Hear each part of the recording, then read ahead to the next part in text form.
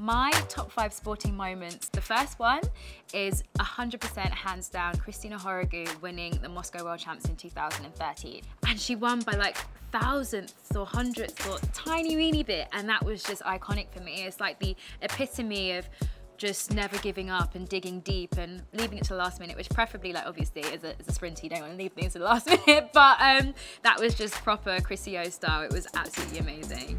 Next on my top sporting moments would be definitely Jess Ennis's whole win 2012 as the poster girl, dazzle everybody, overcome any well, all the pressure, absolutely do fantastically, smash it, and then pop out a baby, come back, become world champion in 2015. Another one was obviously seeing the hockey women's team win in Rio, the Rio Olympics, simply because I used to play hockey a lot when I was at school. I was a centre forward, not a particularly good one, but I was centre forward.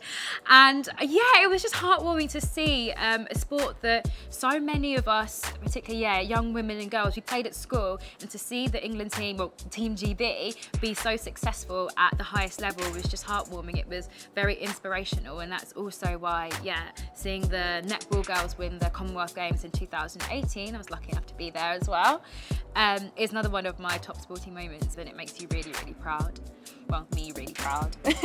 and my last top sporting moment, it would have to be Kelly Holmes in 2004. She's the whole reason why I kind of wanted to be an athlete. I remember watching her win both the 800 and the 1500. It was kind of like a last chance for her and it was probably the last Olympics that she was going to go to. Um, it was just so inspirational and I remember I was eight years old at the time and um, that really, really inspired me. It really made me want to do my country proud at the highest level.